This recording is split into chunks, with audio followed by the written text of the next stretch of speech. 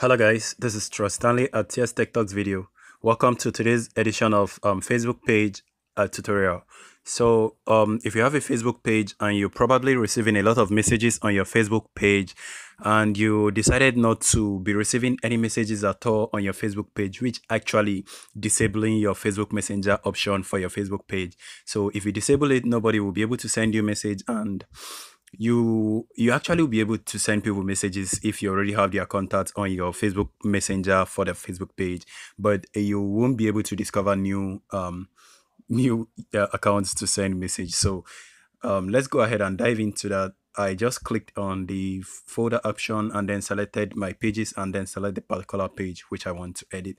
So once you've done that go ahead and swipe to the right again and you will notice where this option has more option. Click on that. Wait for it. And then just scroll down to settings settings settings. There you go. Click on that. Then um page setting page setting general. Click on the general settings. Wait for it to load so once the page I've loaded up and you can notice where it says allow people to contact my page privately on messenger. Actually it's set on on but if you notice the on is not actually displayed but actually set on on. If not nobody will be able to send me a message. So i'm going to go ahead and turn this off click on turn off you can notice it's been turned off. So let me back out and back out again. So i'm going to try and send myself a message from another device from my brother's account. So i'm going to put it on the right screen. Just look over there. You are going to see this option. Um but first let me go ahead and show you guys how my facebook inbox look like. And the last message i received on my inbox. Why is inbox not showing here? Just back out a little bit um for some reason the inbox is not showing right there. About that is not a problem anyway. We can always get that through here and then click on messages. And then this is our facebook messengers inbox for our facebook page. And if you notice um i have some couple of message and the last message i i I sent or received was 26 minutes and then um six hours ago and then and so on. So i'm going to try to send a message with a different account on a different device so that you guys will actually notice how this works. Let me go ahead and pause this video and just look over to the other side. You're going to see more of it. So um in order to test this out let's go ahead and open facebook messenger on this device. Let's search for messenger messenger messenger messenger okay there you go. Click on that. And if currently a messenger is not here all you need to do if the account is not here just go ahead and search for ts tech or whichever page you want to send message to. Just go ahead and search them and you can notice their page on the messenger. You can notice the one that says messenger. Go ahead and click on that.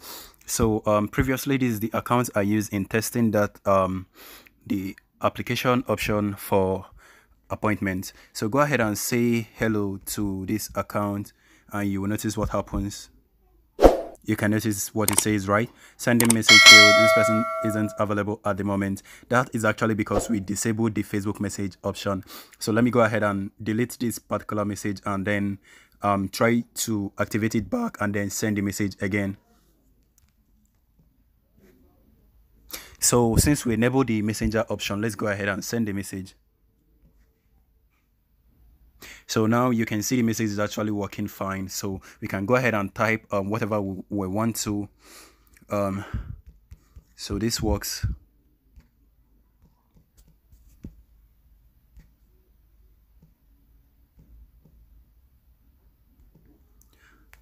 you can see the message is working properly right now. So if for some reason you want to disable the facebook messenger option for anybody you can go ahead and do that with this simple step which i just showed you guys. It's not anything difficult. It's not anything special but just make sure you follow these steps accordingly and get that to work. All right guys. See you guys on my next video.